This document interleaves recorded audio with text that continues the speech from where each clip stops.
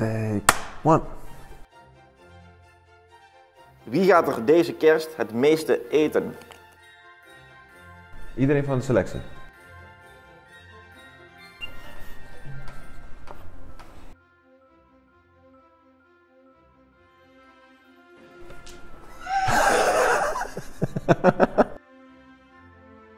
Danny, kun je dat even toelichten?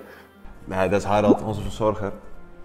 Ik wist niet of de staf er ook bij was, maar nee, die lust houdt wel van een lekker stukje vlees eh, tijdens de kerst, dat weet ik. Ik heb wel eens eh, een kerstdag met hem gevierd, dus eh, ik weet dat hij heel dol is op, op het eten met kerst. Dus, Dat is een inkoppertje. ja, met kerst is het Voor extreem. dit hele jaar eigenlijk. Wie had jij? Stam erbij. Ja, Ja, die zie ik soms ook wel eens bij de lunch. Dan moet je snel zijn. Wil je nog iets zeggen? Wie gaat deze kerst de meeste cadeaus kopen?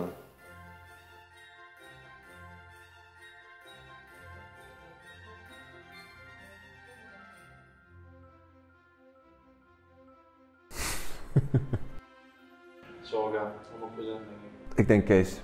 Kees de Boer. Want? Eh, ja, die heeft natuurlijk een hele grote familie in Volendam. Die, eh, ja, dat is echt een hele grote familie, dus die moet veel cadeaus kopen, denk ik. Duidelijk. En waarom Sorga dan? Zorga, ja, die loopt soms met het outfit op. Waarbij, eh, dat is duurder dan mijn, eh, dan mijn hypotheek. Dus eh, ja, ik denk Zorga. Wie komt er na de kerst het meest fit terug op de club?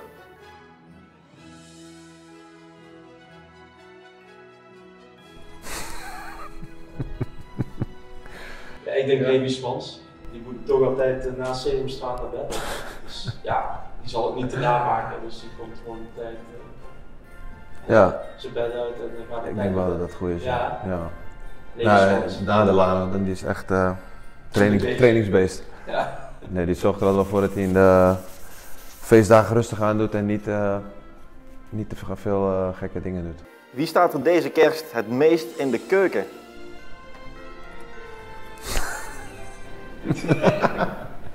ja, ja, ik denk Sven. Sven eh, ja, moet toch wel wat extra doen thuis, denk ik. En nu, eh, op het moment, dus eh, Hoezo? Gewoon, eh, ja, zwanger toch? Of mag dat nog niet? Ja, ik weet niet wanneer het uitgezonden wordt natuurlijk. Het is nu april. Maar jij hebt niet jezelf. Nee, ja. Nou, Guus en hij die doen wel veel dezelfde dingen thuis, Ja, denk ik. zo misschien wel Vrienden. Ja, allebei Zuid-Limburg. Ik denk die doet helemaal niks. Wie kent de meeste kerstliedjes?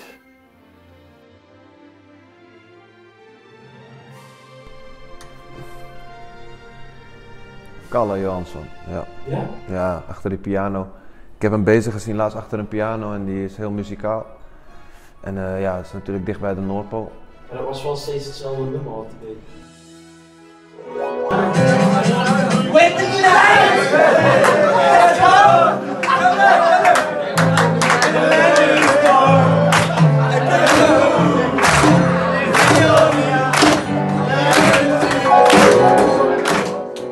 Oh, dat had, ik, dat had ik niet door. Maar in ieder geval, hij leek me heel muzikaal.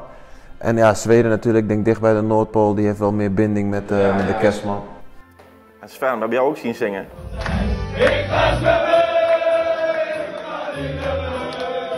Hoe zit het eh, bij jou met de kerstmuziek? Nee, ik hou ook wel van, eh, van de klassiekers hoor, met kerst. Wel alleen met kerst hoor. Misschien kan je wat laten horen. Ja, dat doe ik ook. Nee, nee, nee, eh, nee, ik hou zeker van kerstmuziek en dat hoort er gewoon ook bij, gezelligheid. En, eh, maar ik had de lame wel, eh, Wat dan? ja, dan wil ik ook af en toe wel zingen. Ja, dus meestal versta je er niks van. Oké, nou dan gaan we door naar de allerlaatste. Wie gaat de meeste kerstfilms kijken? Wat een vragen. Eh,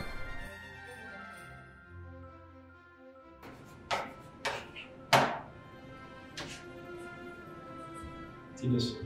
Tines. Wie is Tines? En Simon Jansen. Noemen we Tines. Eh, nee, ik denk dat hij samen met zijn vriendin lekker. Ja, dat is wel een romanticus. Ja, beetje zo arm om me heen. Ja, dat doet Tines wel. En wie heb jij? Ik heb Brian Cochlin. Lijkt me ook wel echt een romantische jongen. Die heb ik op Instagram. Eh, ja? Ja, die staat heel veel met zijn vriendin op de foto en heel eh, verliefd kijken die naar elkaar. Oké.